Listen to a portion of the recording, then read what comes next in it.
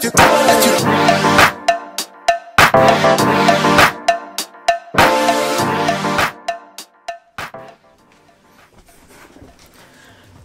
what up guys? So, pretty busy Monday, but uh, hopefully you guys had a great weekend. Today, I am going to be showing you guys a little bit of, you could say it's a little hack, like a life hack for FPV. And all it's going to really take is some packing tape like this, and some scissors. So, a lot of times what happens is you get batteries that have a little dangly balance lead like this and you put it on the side of your mini quad and then you like you know put the lipo strap over it to hold it on or you tuck it under somewhere something on the lipo strap or underneath the battery and it, there's all these ways everybody always does everything. There's a little hack to that. So one thing that I have been doing for a while and this is actually something that um, I've seen from Thunder Power they were the first ones that I saw like doing it, but I was like, you could totally do that with any battery. It's quite easy. Is you just make a little slip in the back of your battery. This basically holds your balance lead so it doesn't get chopped up by the props.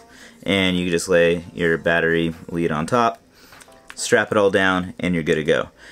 So I'm going to show you how to make this. It's actually, it's quite easy. Alright, so one of the first things you want to do for this hack is you just want to get a little bit of tape. You don't need a lot lay the tape on the table and what I do is I just fold it over itself a couple times so that the sticky part makes like a little little strip. So you're gonna end up with something like this. Um, you could cut it to length however you want afterwards and what you do you basically take your battery you put this on here what I like to do is kind of like put the lead under it so I could see how much of a gap I need. So you want something where you could still like, you know, tuck it under. So this one's a pretty long one. I probably want to be able to like stick it under, tuck it something like that. Yeah, it seems pretty good. So you you know where it's at. Then all you really need to do take this again. I like to just cut a section off. Take your piece here. We're just going to tape this guy onto here. Cut another section. You got your lead here.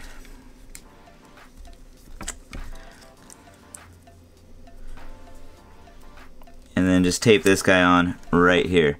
And uh, if you want, like I said, if you have a little bit of extra, you could always just flap this section up right here, cut these guys off. There's another little piece. Eh.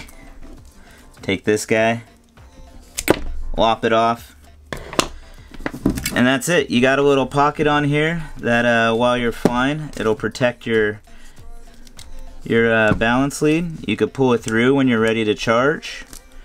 I'll show you here. So, so this is when it's pulled out, when it's ready to charge. And you could just tuck it up in here when you're ready to go. Alright, so that's pretty much it. Hopefully you guys like this little uh, hack. I know some of you guys might be like, oh, I already know how to do that, or Thunder Power does that, or whatever. Not everybody uh, is familiar with it, and some people are new to this hobby.